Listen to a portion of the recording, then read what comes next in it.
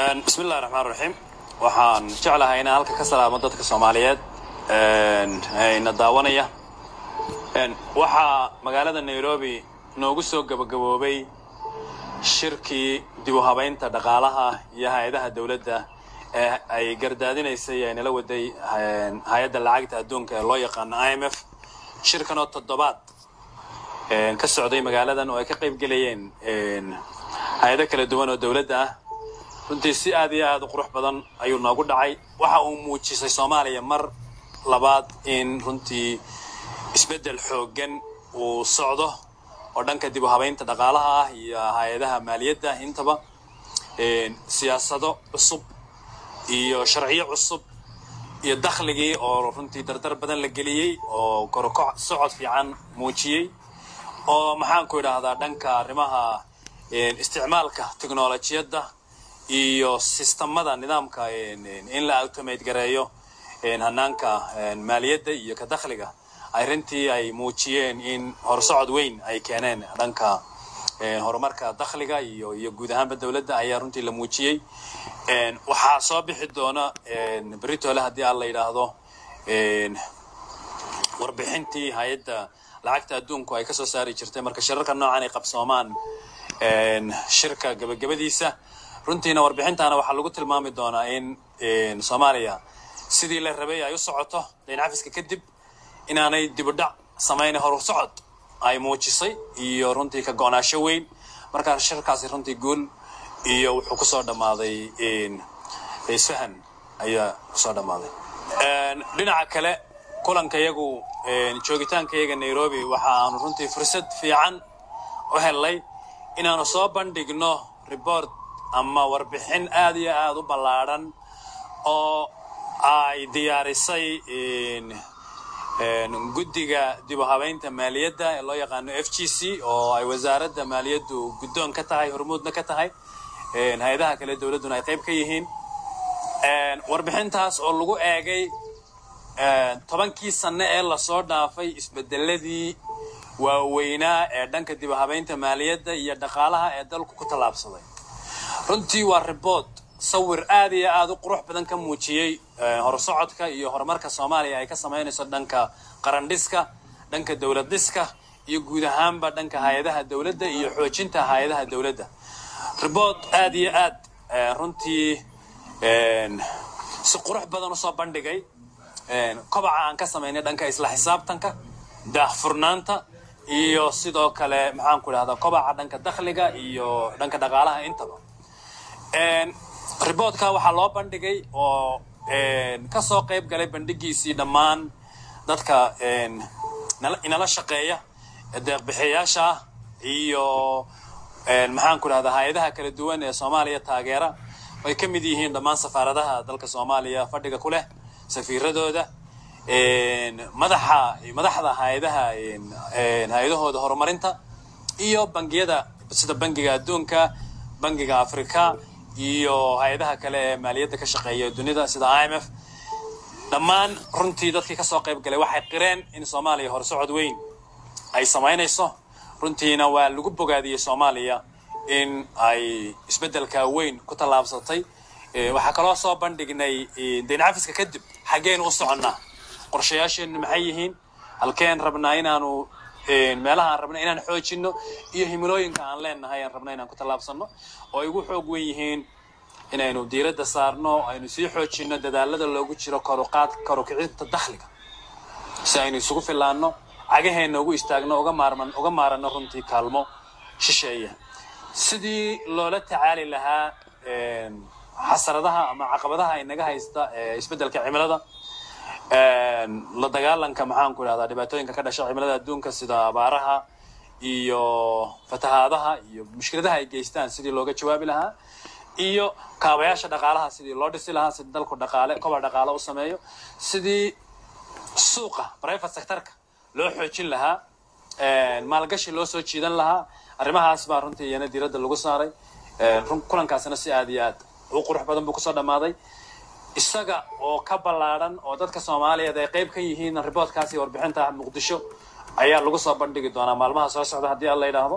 Waxaa iyana muhiim ah inaan tilmaamo inaanu fursad u helnay runtii kana faa'iidaysanay inaynu kulanno la qaadanno dalalka iyo hay'adaha runtii muhimka u ah soomaaliya ee kaalmada siiya aynu wada shaqaynta buuxda leenahay. Waxaan la kulannay euda oo uu hogaaminaysay safiiradda dalka soomaaliya u fadhida iyo dadka ka shaqeeya arrimaha horumarinta. Oonu si weyn dib isugula eegnay kaalmada euda ay siiso soomaaliya. Sidii kor loogu qaadi lahaa loo ballaadhin lahaa kaalmadaas meelo kala duwanna diiradda loo saari lahaa ay ka mid tahay dhanka maxaan ku dhahdaa reformiska. Ballaadhinta kaalmada dhanka miisaaniyadda ayna siiyaan waanu ka codsannay kulankaasina runtii si aad qurux badan buu noogu dhacay. Waxayana aad iyo aad u muhiimhayd inaan la kulannay wasiir ku-xigeenka arrimaha dibadda ee dalka norway oo kulan runtii aad iyo aad wax ku oolihi noo dhacay.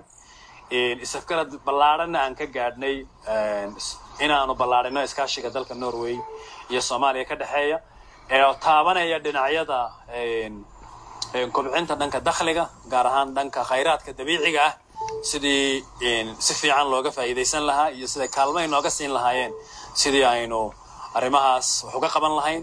Iyo guud ahaan sidii loola tacaali lahaa isbeddelka cimilada adduunka iyo arrimaha la xidhiidha kaalmada ay inoo soo marayaan bangiga adduunka iyo guud ahaan sida ay arrimahaas aad isaga kaashan lahayn. Kobcinta dhanka maamul wanaagga dowladnimada. Arrimahaasa iyaguna aad aad isaga afgarannay kulan runtii aad iyo aad u qurux badan buu ahaa kaasina. Waxaa kaloo aan kulamo gaargaara la yeelnay bangiga adduunka bangiga horumarinta africa oo iyana runtii aan dib ugu eegnay iskaashiga ballaadhan ee naga dhexeeya iyo halka aan marayno iyo meelaha aan u baahannahay inaan runtii hore uga tallaabsano marka guud ahaan waxaa muddadii toddobaadka ahayd een halkan joognay noo qabsoomay runtii kulamo waxoolah iyo shaqo aad iyo aad u muhiima. Dadka soomaaliyeed guul iyo gobonnimaan u rajaynayaa aad iyo aad baa u mahadsantihiin. Asalaamu calaykum waraxmatullahi wabarakaatu doodan oo ahayd mid muhiim ah ayaa diiradda lagu saarayay noocyada xagjirnimada ee soomaaliya ka jira iyo sidii looga hortegi lahaa. Martida ayaa si gaar ah uga dooday sidii loo wiiqi lahaa fikirka xagjirnimada wata ee khawaarijta. Dooda waxaa marti ku ahaa sheekh cali wajiis sheekh cabdiqaadir sheekh cali bakdaadi gudoomiyaha bulshada rayidka cusmaan muxudiin shaatax mas'uuliyiin kale iyo dadweyne. Ugu horreyn agaasimaha macadka sare ee daraasaadka amniga doctor maxamuud moge iyo agaasime ku-xigeenka xarunta qaran ee tubsan ibraahim nadaara ayaa martida iyo dadweynaha ku soo dhaweeyay dood wadaagga marka kelmadeyda waxay daaran tahay inaan idin soo dhaweeyo aan idinku soo dhaweeyo machadka doodan tii ugu horreysay ma noqon doonto way socon doonaan ilaa natiijo fiican laga gaaro. Marka waxaan leeyahay dhammaantiina soo dhowaada mashruucuna wuu noo furan yahay hadduu ilaah yidhaahdo baanalka waxaa inoo jooga martida inoo joogta ayaa mawduuca wax ka soo diyaariyey aqoon dheer ule iyagaa ka hadli doona hadduu ilaah yidhaahdo. Quruxda badan iyo fadhiga iyo nidaamka iyo intaba maadaama hadda ayagaan marti u nahay agaasimuhu ugu horeeyo macadka daraasaadka macadka sare ee daraasaadka amnigu aad iyo aad bay u mahadsan yihiin. Intaan marka gadaal baan ka dhihi lahaa laakiin mar haddii microfonka la ii dhiibay waan hormarsaday. Hadhowna waan ku dari doonaa si aan u faraxsanahay daraaddeed. Yuusuf ku soo dhow barnaamijka. Intaasi kadib mashaa'ikhda martida ahayd ayaa sharaxay xagjirnimada iyo waxyaabaha asalka u ah iyo sidii looga hortegi lahaaba iyadoo dadweynuhu ay aragtiyo ka dhiibteen. Aniga waxaan aaminsanahay waxyaabaha lagu tilmaamo xagjirnimada soomaaliya ka jirta inay tahay wax ka dhashay arrimo kale. Arrimaha ay ka dhasheen waxaa ka mid ah cadaalad darro dhibaatooyin la isku geystay oo aanan laga heshin ama laga hadlin gocasho badan oo xiriir la leh wax hore u dhacay oo la soo dhaafay. Qadiyad baaxad weyn oo dad badan ay ku wada dhex jiraan oo mafaahiim badan leh inuu geeska istaago oo hal dhinac asagu uu inta ka istaago. Sida caadiga ah waxaa waaye alwaaxa ayaa lagu matalaa. Alwaaxa meesha yaalla miiska. Haddii dhinac looga istaago ama xataa kursiga hal gees looga fadhiisto qofku waa dhacaya. Marka ma xamili karaayo. Marka qodobka ugu muhiimsan waxa waaye in tadarufku waxa waaye islaamka oo kaleeto mabaadi'da ku dhisan yahay waa wasat sida haddaba sheekh quraan u sheegay wasad waxaa laga wadaa dhexdhexaadnimo. waa dhexdhexaadnimo. Annagu maanta qaraamida iyo nimankii ibaadiyada ee khawaarijta asalkooda ahaa waa cumaan. Nimanka hadda madhabka cumaan wey wiilashaas ayaga marka tadarufkooda waxaa la yidhaha violent extremist atadaruf alcaniif xagjirnimo maxaan ku dhahaa gacanka hadal? Gacanka hadal wadata wey tadaruf waxaa jira marka aan gacanka hadal wadanin oo implementationkii ahayn tatbiiqii ahayn dhaqangelintii tadarufka aan lahayn laakiinse fikir ahaan u xambaarsan haddana lafdigan xag jir. Waa laba eray buu ka kooban waa anigu aragtidayda. Dadkii luqadda aad ku yaqaanayna way fadhiyaan. Wixii iga khaldamana si waa la iga sixi doonaa xag waa jiho xaggaas iyo xaggan xaggiisa xaggooda xaggeeda xaggeena xaggiina marka waa jiho jiritaankuna waa ahaanshaha dhinacaas. Xaggaasaan jiraa xaggaasuu jiraa xaggaasay jirtaa xaggaas marka xag jir markii la yidhaahdo waa daraf iyo gees jiritaan dadkoo laga dhex baxo. Tadarufka si guud waa loo qaaxay.